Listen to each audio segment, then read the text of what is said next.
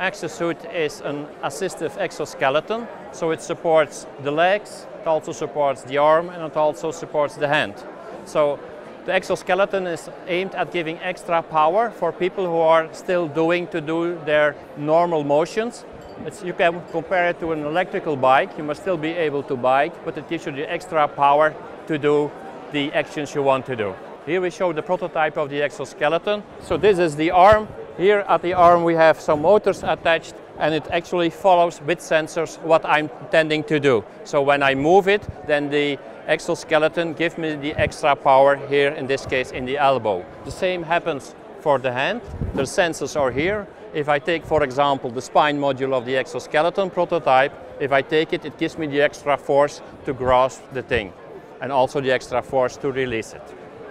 We are typically looking at people who are uh, suffering from weakened, weakened muscles or either after a stroke. So when they are re rehabilitating after stroke. So what will happen with this exoskeleton is that they, people are helped in doing their uh, activities of daily living.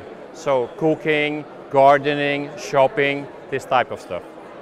We are working together with uh, some care labs and we, do, and we are doing end user tests together with elderly people and from them we learn what they like and what they do not so, like so much. And we are improving the product continuously in such a way that it's actually very comfortable for them to use.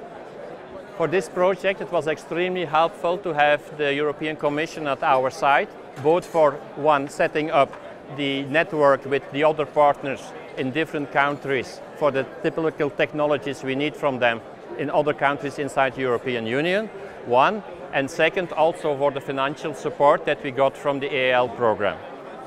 The Axo-Suit project is a project for 36 months, three years, so to say. So we have done now two years and there's still one year to come. And we expect to have the first products in the market by the end of next year. We are setting up a distributor network inside Europe at this moment. And uh, about the price, still has to be decided, but we expect this to be in the order of magnitude of an electronic wheelchair.